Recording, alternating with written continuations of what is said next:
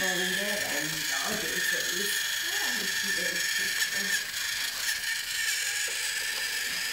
어떤 곳이 아니면 그렇게 那就是我们两个人去做做菜的时候，你去做里面是啥？你吃里面。